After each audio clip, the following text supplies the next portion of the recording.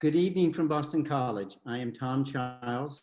I'm professor uh, in the biology department and the Salvador and Michael DeLuca uh, endowed chair. I am also vice provost for research and academic planning at Boston College. I welcome you to the show at six, Boston College and the Common Good. The show at six features friends and members of the BC community discussing a range of issues affecting our world today all revolving around the theme of the common good. Topics include how the BC community is responding to the effects of COVID 19, such as our session tonight, to the enduring challenges of the marginalized, to our own resiliency and solidarity, and to the upbuilding of human dignity throughout the world. The show is based on the central insight of the common good that is, that the resources that humanity has and needs must be shared equitably. For instance, Today, each of us is called upon to promote the common good by social distancing, by wearing masks, by washing our hands. These practices, like other forms of solidarity, are not only for our own good, but also for the common good of all. Now, please note at 6:45 my co-host and I will begin posing questions to our guests from the audience. Members of the audience can pose a question before 6.40 p.m. via the Q&A button at the bottom of the screen. And I just want to reiterate that point. Members of the audience, you can pose a question before 6.40 p.m. using the Q&A button at the bottom of the screen. Please note, we would like you to identify yourself by your name and also your relationship to Boston College. Now, let me introduce my co-host, Professor Danielle Taghian. Professor Taghian is Associate Professor of Practice. She's faculty member in the Biology Department and chair of the Faculty Pre-Health Advising Committee. She received her Bachelor of Science degree in biology with a double major uh, in English from Tufts University and a PhD from the Harvard School of Public Health. Danielle teaches a variety of courses at Boston College, including uh, a course for freshmen called Molecules and Cells, as well as two upper division electives, one cancer biology and the other exercise physiology. Danielle is now going to introduce our three guests. Danielle. Thank you, Tom. Welcome, everyone. This evening, we welcome our three distinguished guests to the show. Let me tell you a little bit about each one of them. Dr. Barnes, Kathleen Barnes, is an MD MPH. She's a family physician and the chief of clinical operations at the Kaiser Permanente Burien Medical Center in Seattle, Washington. Dr. Barnes is a former BC presidential scholar and graduated from the College of Arts and Sciences in 2007. After a year of medical service work through the Los Angeles branch of the Jesuit Volunteers Program, she matriculated at Harvard Medical School, where she earned both her MD as well as her MPH from the Harvard School of Public Health. In addition to practicing medicine, Dr. Barnes oversees the clinical operations of an urban primary care clinic, which serves 17,000 patients. Dr. Barnes is an affiliate researcher to the University of San Francisco Center for uh, Excellence in Primary Care, where her research focuses on innovation in primary care delivery systems. She is notably published in the New England Journal of Medicine on the topic of the future of primary care. Welcome, Dr. Barnes. I should also add, Kat was my student back in the day, back in 2008, so it's very dear to me to have uh, a reconnection with you, Kat. Our second distinguished guest is Dr. Scott Jelinek. He's a pediatric resident physician at the Mount Sinai Hospital in New York City. Dr. Jelinek graduated from Boston College in 2010 with a degree in international studies and theology. He was also a Gabelli Presidential Scholar, Vice President of the UGBC Senate, and conducted field research in Kenya and Mozambique on HIV, AIDS, and economic development. Dr. Jelinek deferred enrollment to medical school and joined Teach for America in Denver, Colorado, where he was a public high school biology teacher for three years and received his Master's of Arts in Education. He then moved to New York City to receive both his MD and MPH from the Icahn School of Medicine at Mount Sinai, graduating with a distinction in medical education. During medical school, he was a human rights and social justice scholar, a public policy fellow with the New York Academy of Medicine, and completed a year long fellowship in healthcare consulting and leadership with Deloitte Consulting in Washington, D.C. Dr. Jelinek is now a second year pediatric resident and heavily involved in research, healthcare, and the well being of LGBTQ children and adolescents. Welcome, Dr. Jelinek. And our third guest, guest is Emily Zona. Emily grew up in Medfield, Massachusetts, and graduated from Boston College in 2019 with a Bachelor of Science in Psychology and a minor in Medical Humanities. During her time at Boston College, Emily was involved in the dance organization of Boston College. Actually, she was president. She was also part of the Samaritan's Crisis Hotline with For Boston and part of the Christianson Behavioral Neuroscience Laboratory. Emily co-led a global public health service trip with BC undergraduates, along with professors Philip Landrigan and Tom Childs, to Honduras in the summer of 2018. Since graduating, Emily has been serving full time with the Jesuit Volunteer Corps in Milwaukee, Wisconsin, as a medical assistant and medication manager at Walker's Point Community Clinic. Walker's Point is a free clinic on Milwaukee's near south side that provides healthcare to the uninsured, refugees, homeless, and those facing barriers such as language and immigration, immigration status.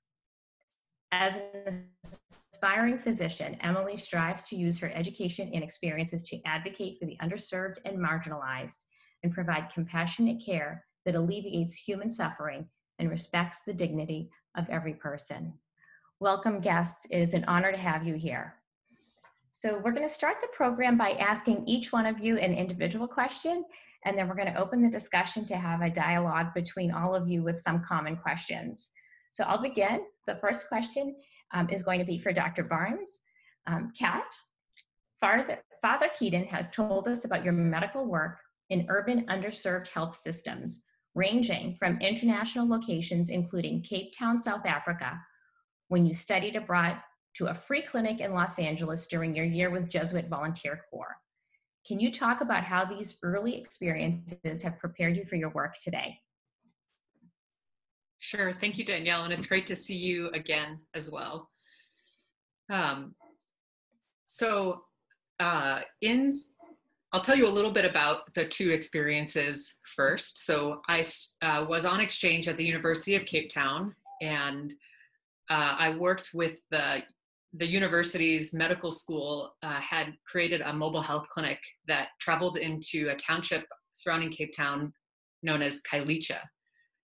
And the township, which was quite large, uh, was uh, inhabited by people who were kind of the lowest income in South Africa, um, in the Cape Town region. And in these uh, areas, you know the ability to access refrigeration electricity running water were uh, pretty limited and the areas the roads to even reach the areas were pretty uh, could be very dangerous so um, uh, when we when i started with the group we they had created the mobile clinic uh, service so that it was um, a way for uh, people to actually access primary care and a lot of HIV care at the time, um, uh, since there was no freestanding clinic uh, in the area.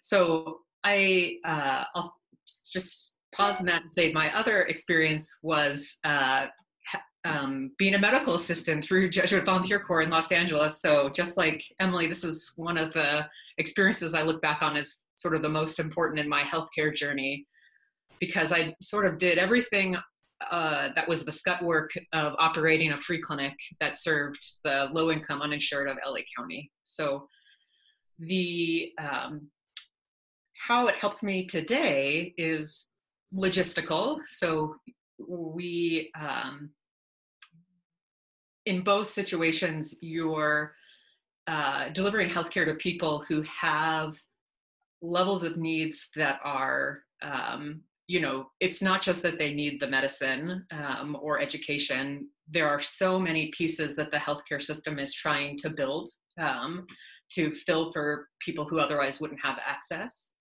Um, and you're also overcoming changing and pretty dynamic challenges. Uh, I mentioned ac- even you know accessing roads to get into Khayelitsha. in uh, at the LA Free Clinic, we'd often go to our patients who uh, were living under the freeway.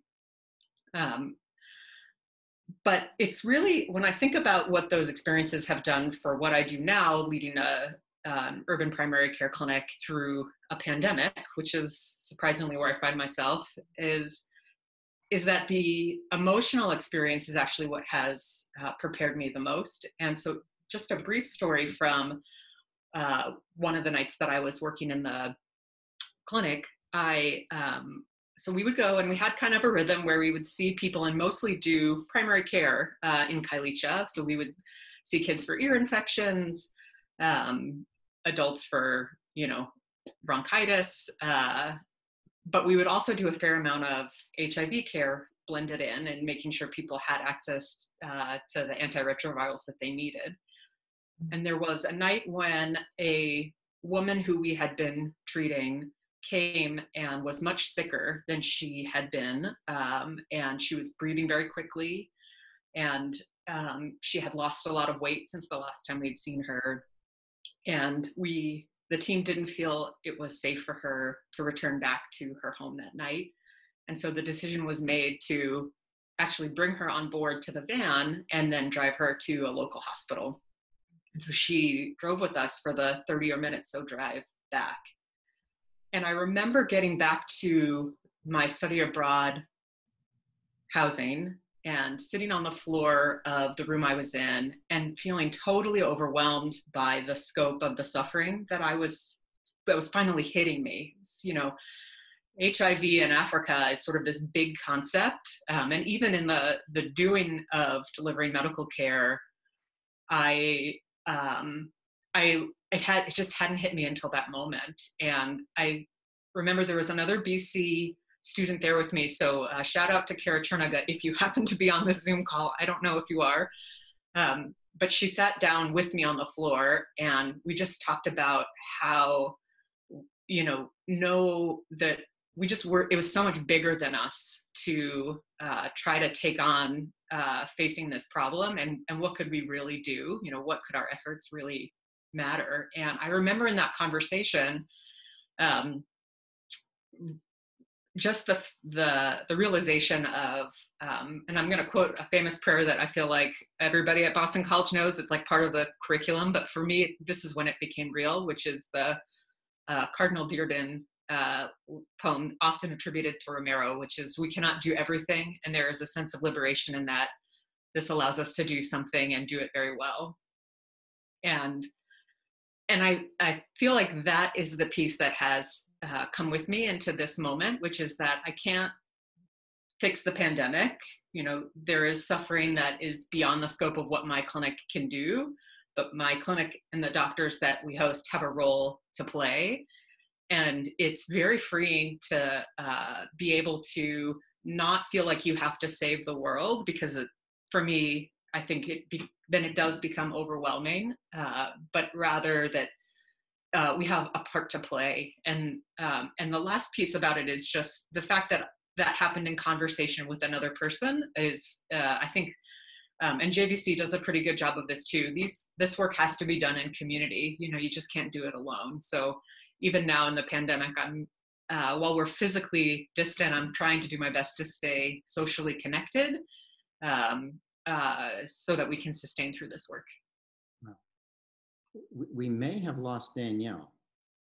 So I'm going to ask the next question. That was a uh, very wonderful answer and very beautiful insight into uh, what you have been doing, um, particularly in, in Africa. Uh, Scott, this question is for you. We understand that it's been an intense two weeks in the hospital where you're doing your residency as you're beginning to see children that are becoming very uh, sick from COVID-19 uh, that uh, you probably haven't seen previously. I was wondering if you could take a moment and, and share with us your work today that you're doing in the clinic and, and, and, and put it in the context of, of, of the pediatric service and the children that are uh, being impacted by COVID-19. Yeah, thank you again for inviting me to be part of the show. Uh, it's wonderful to see you again, Kat, over uh, Zoom at least. Um, but Yeah, it's been this past few months has been absolutely crazy, especially living uh, in New York City, kind of in the epicenter of the pandemic, at least here in the United States. Um, I'm also working at Mount Sinai Hospital, which is seeing thousands of patients uh, who are infected with uh, coronavirus. And so it's been definitely a very surreal experience being uh, not only a citizen of New York City, uh, trying to navigate living as we all are in you know the stay-at-home orders, but then also having to work in a hospital where almost everyone, all the patients have the same exact illness. Um, it's been quite um, a challenge, I would say, in terms of you know not only the medicine of it, but also just being a doctor, a healthcare provider, a friend, um, and someone during this time. Uh, thankfully, as you said, uh, kids have been largely spared from the brunt of uh, COVID 19. Um, we we're not seeing you know quite the same ventilator use or the even the same deaths as we are of the older uh, patients as we are in kids. But about three four weeks ago, we started seeing this brand new uh, presentation of uh, kids who had COVID maybe a month ago, had very mild symptoms at the time, if any, all of a sudden presenting to our emergency rooms with fever, abdominal pain, maybe a rash, some diarrhea, and then very quickly becoming very, very ill and kind of having like a toxic shock like syndrome where they're becoming very hypotensive, their blood pressure would drop, and start seeing many of their organs being impacted by this hyper inflammatory response that their body has created to not only fight the infection, but now we're seeing kind of this disastrous, dangerous consequence of this overactive immune system. Um, this is something we've never seen before, and so it's been challenging to see kids who you know are, little, are looking fine, you know, are talking with you, eating you know animal crackers, and then all of a sudden the next minute is unresponsive and not knowing what to do, how to treat them, because we've never seen this before, and really being on the forefront of coming up with protocols with management, trying different drugs, learning from our peers at other institutions. Um, you know, was every single day I was admitting one of these patients from the emergency room and then taking care of them in our pediatric ICU and trying to learn, okay, what worked yesterday? You know, how can we apply what we learned you know last week to tomorrow and it's been really an interesting exercise in being adaptive being resilient and also you know passing compassion for both ourselves but our patients and every day you know we're becoming better we're becoming smarter and uh, being able to treat these kids better and better every single day so you're literally writing the playbook as you go in terms exactly. of patient yeah. management Wow. Yeah, we, we just have never seen this before. So it's you know one of the first times where you know we're trying to glean you know using you know as with the COVID in general you know using medications used for rheumatoid arthritis or for lupus or for cancer and just you know throwing things and seeing what works and you know every day trying something new. Wow. Great. Thank you, Scott. Um, the next question is for Emily. Um, Emily, in the Walker's Point Community Clinic mission, the patients you see on a daily basis are living in poverty. In this patient population, the socioeconomic, cultural, and environmental conditions have detrimental health effects. How has COVID 19 impacted the patient population you see at Walker's Point?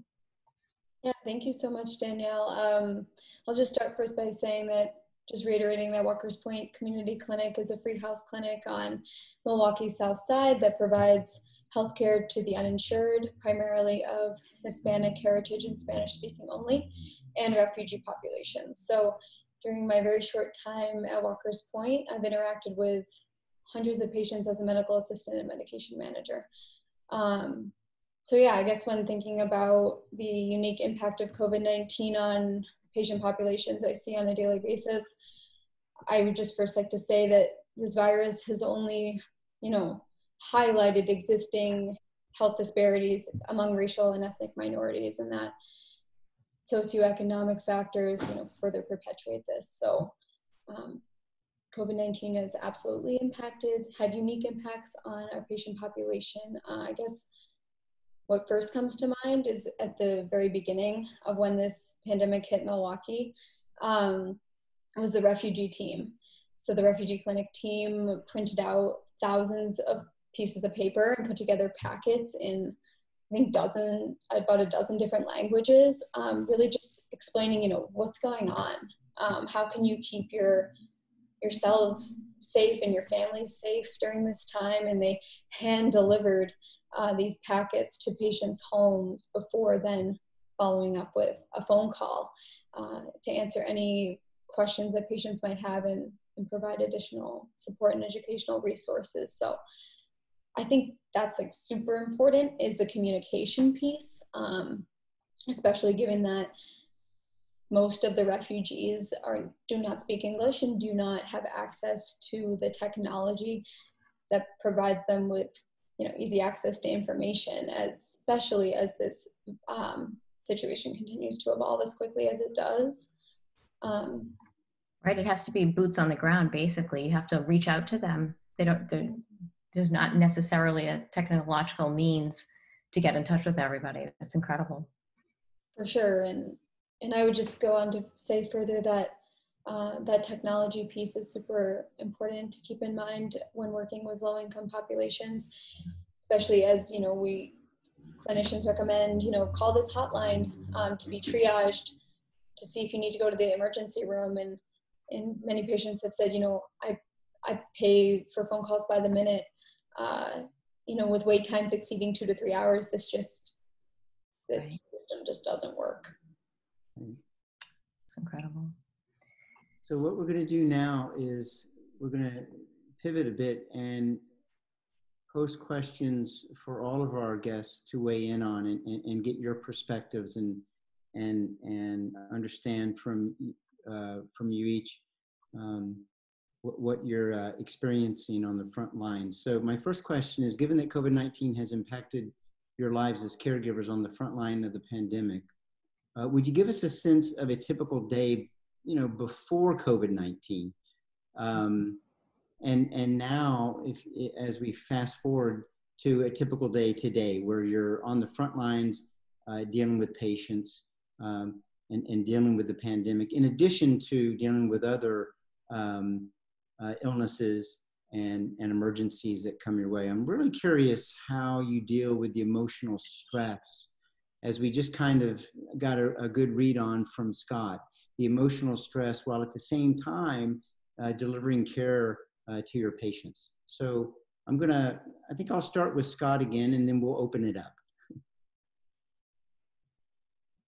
Uh, yeah, so COVID-19, as I kind of alluded to earlier, has greatly impacted at least my day-to-day life, as well as the work we're doing in the hospital. A typical day for me would be um, you know, waking up um, and then taking uh, either the bus or the New York City subway uh, to the hospital, not thinking much about getting onto a crowded train, um, you know, squeezing in like sardines um, on the train. Um, and then being able to, you know, see my patients, really be with them, you know, often sitting on their bed, you know, holding the babies that I'm taking care of, um, just I practice, I feel like a very intimate form of medicine um, and really kind of being with my patients. And I think that's one thing that's really changed uh, dramatically with COVID 19 is just the physical separation um, from my patients, from my loved ones, from my friends. You know, even getting the simple act of getting to work it has, you know, presented its own challenge. Um, I just, you know, getting on those crowded trains were no longer a real viable option.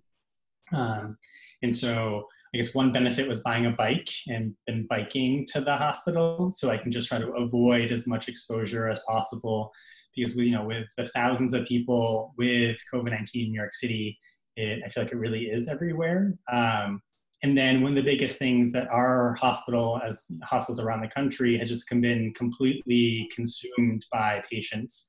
Our hospital was overwhelmed Um, every single ICU bed, floor bed has, was taken up. We had to convert the lobbies of all of our hospitals into makeshift ICUs. Even the um, Central Park outside of our hospital had to uh, erect like disaster relief field hospitals um, to accommodate the overflow of patients that we had. Um, and so even pediatricians, radiologists, dermatologists were deployed over to the adult COVID units um, and were taking care of adult patients that you know we were not um, expected or really trained to take care of these patients. Um, and so just really kind of having every day being flexible, being malleable, because you never know what it may present. But then also just being dressed in PPE, um, wearing an N95 mask the entire day is something that I had to get used to, which I'm which was not something we normally did, and also just not really being able to be with our patients, of either having them be intubated, so not being able to talk to them, to not even wanting to go into their rooms because you want to limit exposure, but also limiting the amount of PPE you're wearing and going through because it's so so precious that it's just really found like it's we're more behind the computer than with the patients. And so i think that's been one of the biggest struggles is remembering you know that there's a human being attached to the ventilator. It's not just the settings we're adjusting but really to remember the patient you know the, the mother the father the son or daughter that we are taking care of um, is more than just the lab values that we're seeing. Does anybody else have something to add? Kat, what's your experience been, the pre and post?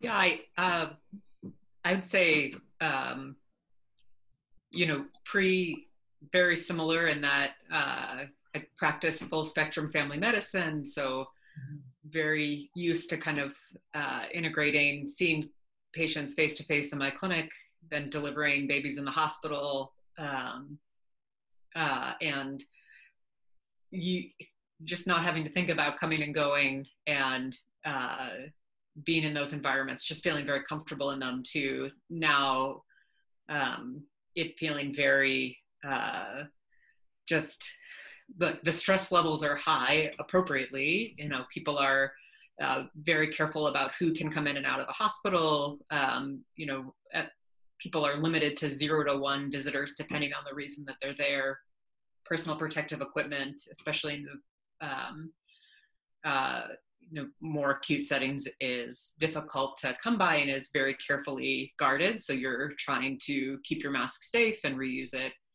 Um, and then from an operational standpoint in my clinic, it's like every day is a new logistical challenge. So I, when Seattle became uh, kind of the initial focus of attention for COVID in the United States, um, that weekend uh, from a on Sunday uh, afternoon, I got a call from my boss that just said, you know, we are uh, going from 90% face-to-face care and 10% virtual to 90% virtual and 10% face-to-face, and we're doing it by Wednesday.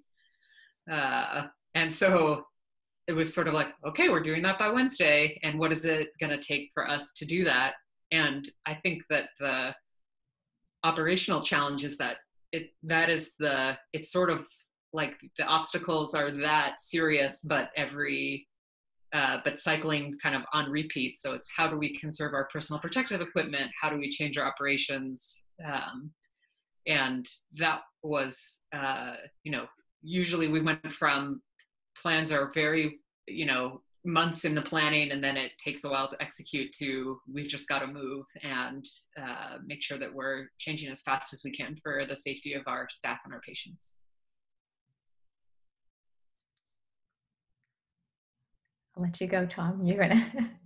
we'll let. But I, no, I was just curious what what Emily, what her perspective has been like, because I remember when um, Emily went to uh, went to Milwaukee and and some of the things she was doing. We, we were having a lot of conversations and then everything didn't stop, but then I knew something had changed significantly. And um, I'm curious to hear, you know, from her perspective at Walker's Clinic, what was it like? What is it like? Yeah, so I guess thinking about what it's like now, um, during this pandemic, it looks it looked very different. Uh, we had a staff of about 40, and then within a, a day, it, it fell to about five and five to six of us. Wow. Wow. That's incredible. It, so it was all of you just working incredible stressful hours it sounds like emily because you were picking up all of the uh, tremendous amount of work that you know the social distancing required just five people must have been many long hours yeah and you know also like kat was saying from an operational standpoint having to adjust you know almost felt like almost every hour in the beginning. Um, mm-hmm. new questions now. There's a new algorithm, and then running around telling everyone like, you know, this has changed. Uh, mm-hmm. was stressful, but but ultimately it, it brought us together as a group and and those who were working from home have been at Walker's Point have been super supportive of the in clinic staff. So it's definitely still a family just from physical. Right. right. Okay, I'm going to take the second question for the group. Um, this one's a little bit on the long side, so just take parts that you might want to answer, okay? So we've seen these past three months the linkage of COVID deaths to several comorbidities, such as type 2 diabetes, cardiovascular disease, high blood pressure, and obesity, all of which might be managed to some degree through primary care access, wellness education, and healthy food acquisition even independent of the pandemic, these manageable diseases shorten lifespans and diminish the quality of life. What are your thoughts about how the pandemic, having illuminated this problem even further, exacerbating this problem, might have a positive or lasting impact on a few different things? So maybe pol- you can discuss policy making at the government level, what needs to be changing there, healthcare and wellness education at the community level, sort of like what you were talking about, Emily, in terms of trying to get disseminate information to people, like the refugees you were talking about, and food acquisition at the household level. That's a real tough one. Um, Kat, why don't we start with you? Sure. So um, it is a big question. But what I will say is that I think in this pandemic, um, we are on a wider scale are recognizing the severe limitations of linking health insurance to employment. And uh, while that has been known by some for a long time, especially I think if you're in healthcare, you recognize what a bad idea that is. Uh, it maybe doesn't sound that way if you're not. Uh, but now that 20% of our working adult population is edging towards unemployment, if not already unemployed, um, this is going to have huge economic consequences on people's ability to access primary care, uh, food, secure housing. Uh, and so my hope is that out of this suffering, there's a, a, solidarity and that experience that this is a bad idea to link insurance uh, to your ability to work, um, and that there's going to be more widespread support for you know a Medicare for all like option, um, and that we'll finally have the political will to uh, really do some good thinking about how to do that. That's real. That's a really interesting point that you're bringing up, and something that, um, because of all the chaos, I think is largely being overlooked right now. I really appreciate you bringing that in. How about you, Emily? Do you have something to add? Sure. So, just kind of going off of that idea of food insecurity as a long term problem, as uh, we know food stamps are running at their maximum for those that are able to receive them. However, you know, soon that I assume that soon run run dry. So, you know, thinking about that, and I've seen that firsthand at, at Walker's Point Clinic. At the front desk, when patients are are checking out of their appointments, the front desk staff ask them, you know, are you okay? Like, is there anything else you need? And they're not just talking about medicine, certain medical needs. They're saying, at first we were giving patients a list of food pantries by zip code. But then what the staff started to realize was, you know, let's just bring in food to the clinic and casually hand it out to people as they come in. So the staff really came together um, to kind of operate a mini uh, food handout system, mm-hmm. um, which I think just shows how Walker's Point, you know, treats the whole person. They see people, patients as, as beings, you know, outside of their symptoms Wow, it's great. You see the humanitarian in there, you know, people coming out. Um, Scott, how about you? I think if I were to try to find like one silver lining of this like horrific pandemic is a greater awareness of the importance of mental health as well as just wellness in general. So thinking about a lot of uh, employers and people don't have access to like paid sick leave and are forced to go to work even when they're not feeling well, whether it be physically or emotionally. And even in terms of you know this pandemic, you know forcing people to go to work when they're not feeling well not only spreads the virus, um, but being able to now, I think, a growing awareness of the importance themselves. Um, whether it be you know taking you know physical health uh, sick days, mental health days, and just understanding the importance that you know if you need to have a functional person for whether it be life or for job, the importance of health um, in their own sense of well-being and productivity is very important. But even within healthcare workers, I think a greater sense of awareness is now coming into uh, physician burnout and healthcare providers' own mental health. This has been, you know, extremely tough experience for everyone. And now, at least within my own institution, is there's more conversations around how can we support healthcare providers as we're going through these experiences, and just beginning to start the conversation about mental health and wellness, I think is important and hopefully will continue on after um, things die down with the, uh, the pandemic.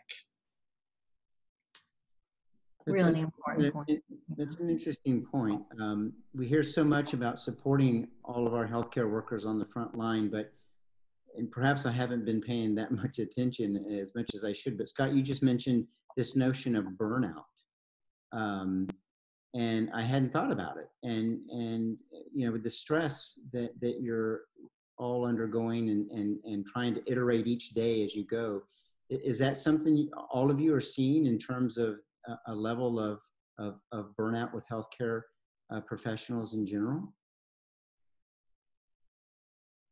Yeah, I'll say that burnout wasn't was a big issue beforehand, and then we added a pandemic.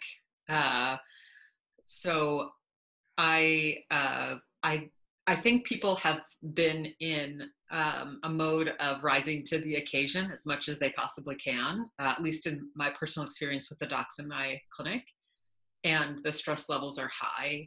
But Scott, I agree with what you said. I think if there's one thing within our uh, profession that is coming out of this that I'm uh, I'm noticing is that it used to be, you know, you're going to go to work as a physician as if you're conscious. Like it doesn't matter how sick you are. Like there's patients to see. Your teammates are depending on you, and it was sort of like a sense of betrayal to call out on your colleagues, uh, and that has gone 180 where it's like you have a sore throat and you came to work today like don't you understand you're part of a team like you like we're counting on you to keep us safe and um, and i think that there is more of an openness in that conversation now just to, not just physical health but emotional health as well of the pandemic has really given permission for people to say that they're having a hard time uh, and and allow that to be more a part of the conversation of okay how do we how do we support each other as a team Wow, wonderful.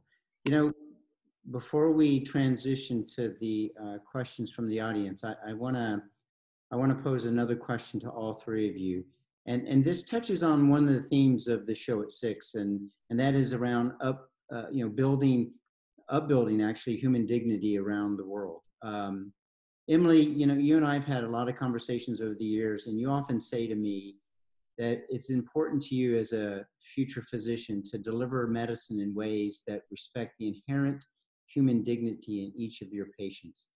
Emily, I was wondering if you could expand on that a little bit, and then let's pivot to, to Scott and Kat, and I'd like to glean their perspectives on this idea of delivering medicine in, in ways that respect the inherent human dignity in, in, in your patients.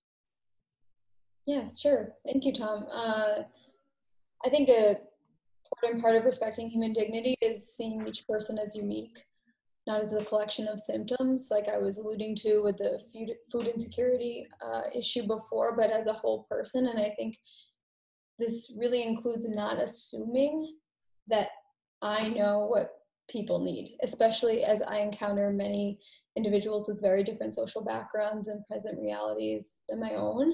I think it's important to ask people what they need because oftentimes they know better than I do. Um, so yeah, I see the physician's role as empowering individuals to, you know, have an agency over their health and well-being and providing the support and resources to, to do that. So that's my two cents about it. Scott. Yeah, for me, I would say my relationships uh, with my patients is the reason why I went into medicine and went into healthcare. Um, I really see medicine as a vocation, as like a calling, and kind of answering the question um, that I learned when I was at BC um, of you know answering you know what brings you joy, what are you good at, and what does the world need from you. And I think for me, um, using medicine as a way to, um, like Emily said, help uh, empower people, um, but also to really help increase visibility. Uh, one of my particular interests is working um, with uh, queer and transgender youth and the importance of really remaining visible and supporting them in their healthcare journey. Um, I I'm an out gay man, and that's something that I try to bring with my bring with me to clinic and to the hospital every single day, and to really you know seek that out and to really uh, meet the patients where they are and help lift them up and uh, really validate who they are and who they want to become and allow my relationship to build not only with them but with their parents to allow the patients to really kind of come into themselves and to realize um, and help support their full potential.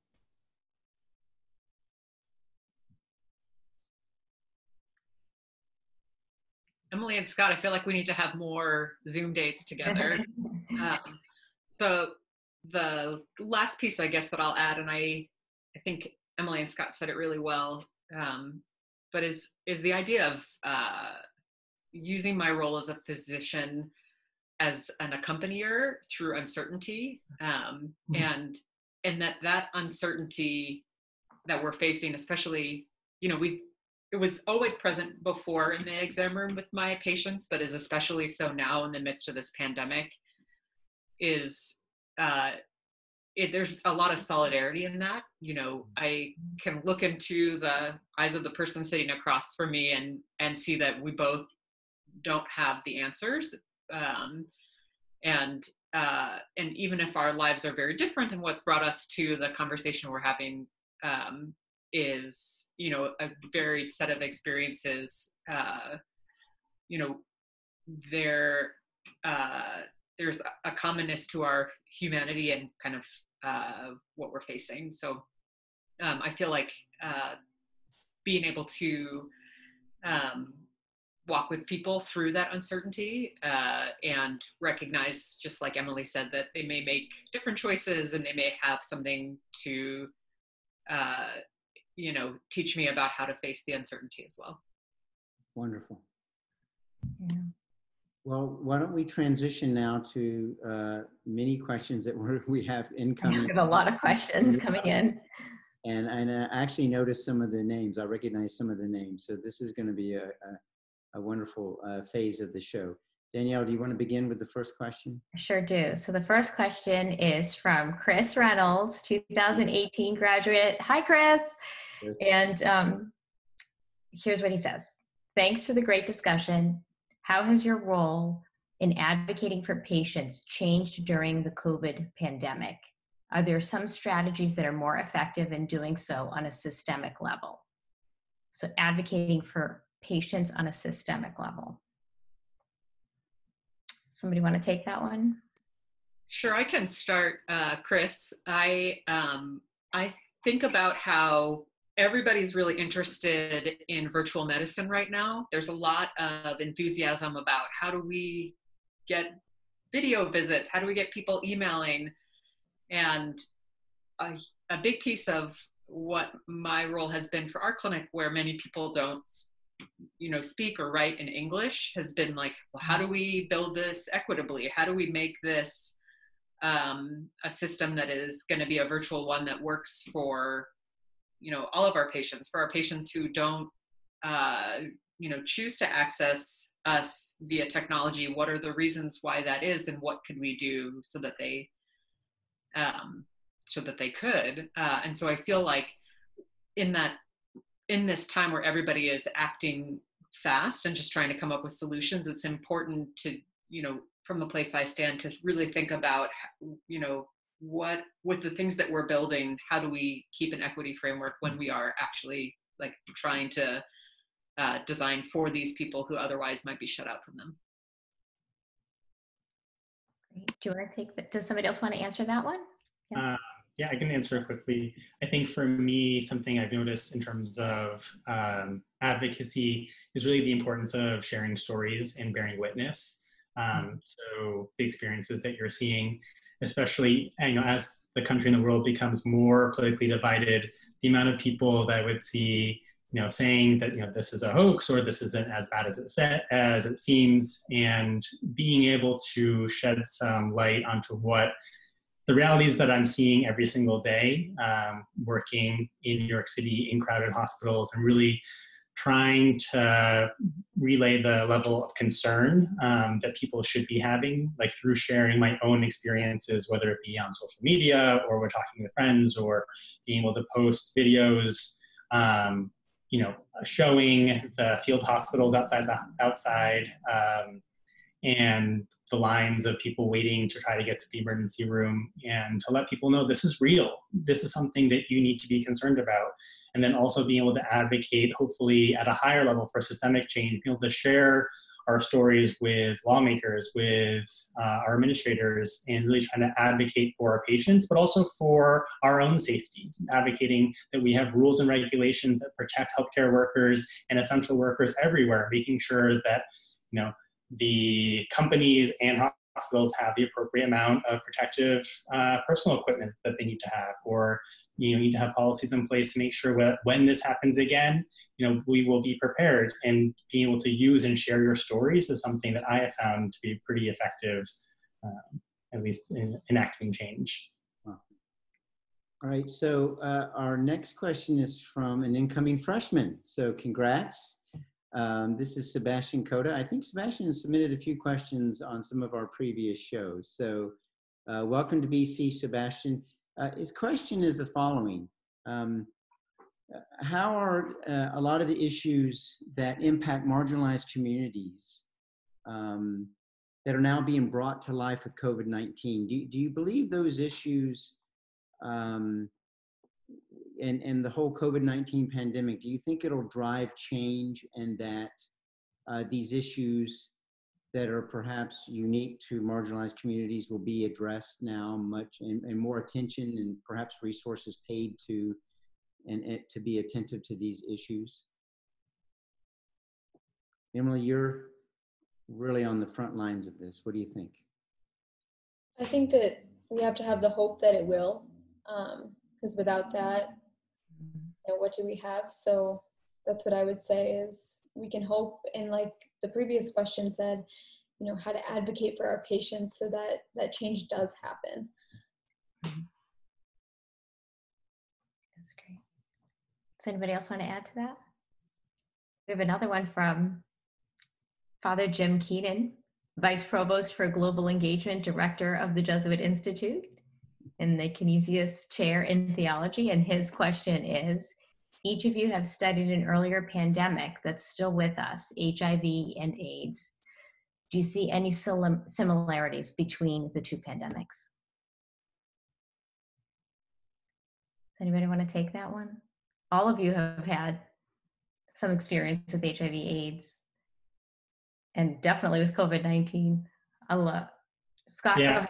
thank you. Uh, no, yeah, thank you, Father Keenan, for your question. I there are a lot of similarities and, differences between the two pandemics. I think kind of what we've highlighted earlier is uh, pandemics in general really expose the inequalities, and inequities that exist within society, and often it's those who are most marginalized who are most impacted by the pandemic, both immediately, then also after the news cameras have left. And I think that's going to be one of the important things that we need to keep an eye on. That you know, while we're seeing that higher rates of uh, African American and Latinx um, communities are being impacted by the virus, that hopefully, you know, as the previous question said, we can start to address some of the structural inequalities that are leading to these issues but recognizing that once you know the news cameras go to the next thing that we can't forget those inequities still exist and that we need to be fighting every day to make sure that everyone has equitable rights uh, and access to healthcare whether it be hopefully not to their insurer but through a single payer system but that we really are looking out for those who are most marginalized in society uh, and that we're you know helping support everyone So we have a question from Andrew Thomas. Uh, is a rising senior, uh, I'm sorry, rising junior at Boston College. Uh, Andrew's question is, um, what is the recovery process like for a patient that is diagnosed with coronavirus? Uh, specifically, how long are they kept in the hospital and how does their, the severity of their symptoms impact their stay? And I would imagine, just to add to that, there might be a difference between adult and pediatric, but I'm wondering, Kat, if you want to take that question. Sure, I would say that the answer is it really varies. Um, so it's a, it is it's if we even draw on the last question of the similarities between HIV and this pandemic is that we're still at the beginning, and I know that feels hard because it feels like we've also been here forever.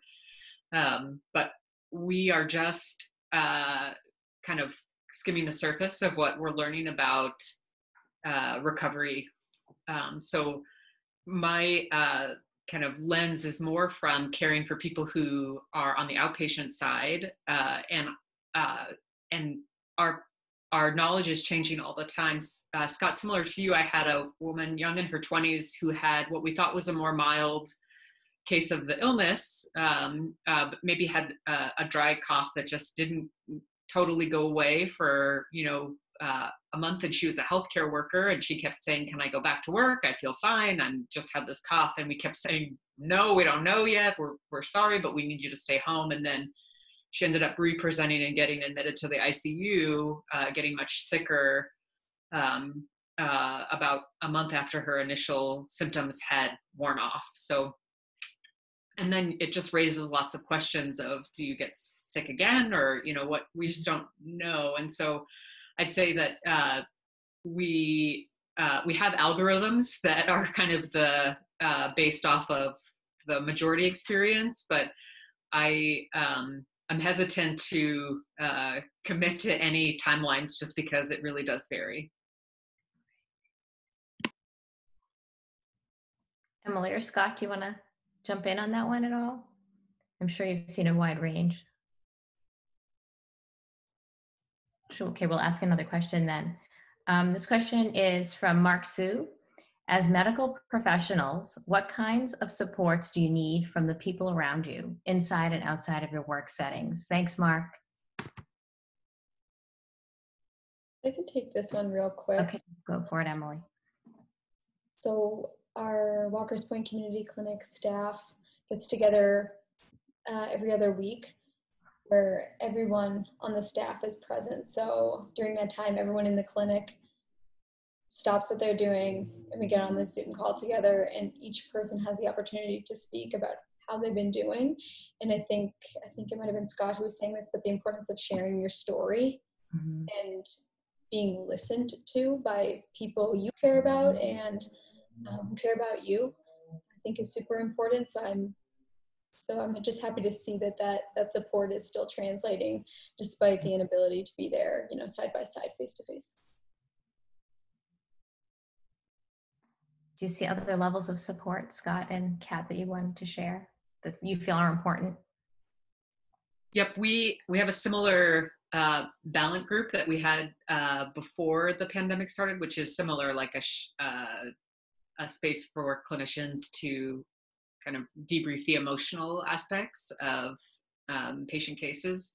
And we do it on Zoom now, and it works as well as Zoom can work. Uh, mm-hmm. and And then uh, I've also, on a personal level, uh, been trying to find ways to, you know, again, uh, socially connect while physically distant. So having, you know, uh, friends visit, but uh, be in an outside space and far away from each other, and uh, and that that time feels precious. Yeah, I, I agree with everyone. I think everything that you guys said, and also other um, things just like food. Um, it's been really great to have um, restaurants in the area have been donating meals to the hospital. Uh, and that's just been like a really wonderful thing. I, you know, I know personally I wouldn't have been able to do nearly all that I've been able to do the past few months without the support of my husband and my friends who've really been there to help support me both physically by feeding me and laundry, um, but also emotionally. You know, after a long, you know, really traumatic day, having someone there you can talk to and just listen has been really wonderful. And um, so, thank you to everyone who's donated a meal. Um, one of my BC friends um, made a mask to send um, that I could wear to the hospital. And so, just thank you everyone for all of both the financial and uh, other, you know, emotional support you provided me, as well as other healthcare professionals uh, in your lives.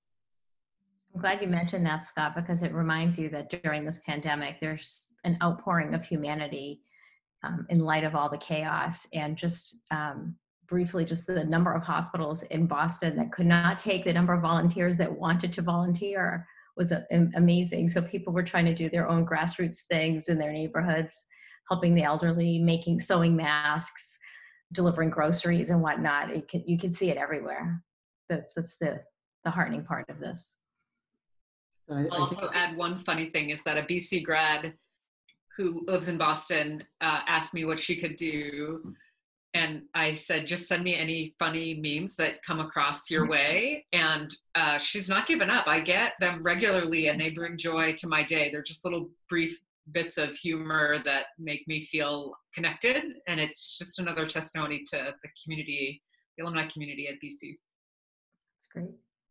Wonderful. So I'm I'm aware of time. We have a couple of minutes left, actually two minutes left, and and I'm I, I just want to ask our guests, you know, is there something you'd like to say in closing? Anything you'd you'd like the audience to know? Something we haven't covered?